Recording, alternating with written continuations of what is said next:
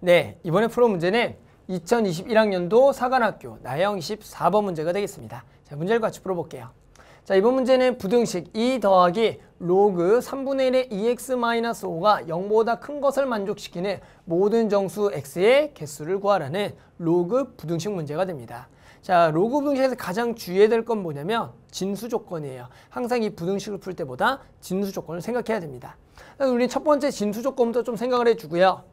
진수 조건은 뭐예요? 해당하는 진수 2x-5가 5보다 크다, 0보다 크다가 되겠죠.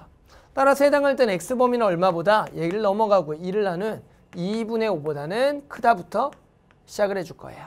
그 다음에 이 로그 부등식을 좀 풉시다. 로그 부등식 푸는 방법은 뭐예요? 일단은 뭐 이쪽에 로그만 있고 여기 0이니까 얘를 넘길 건데 좀 잘 보면 문제가 여기가 3분의 1이잖아요.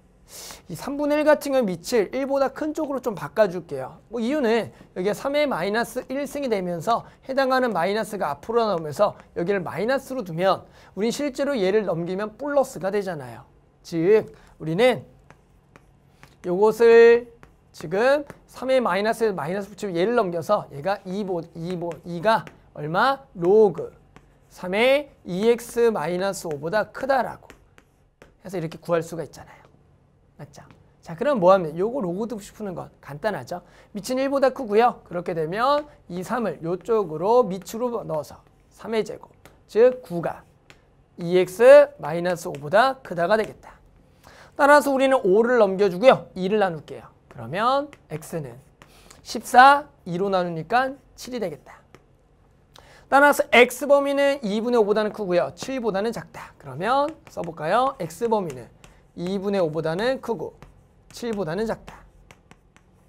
그럼 들어갈 수 있는 정수는 얘가 2.5니까 x는 얼마부터?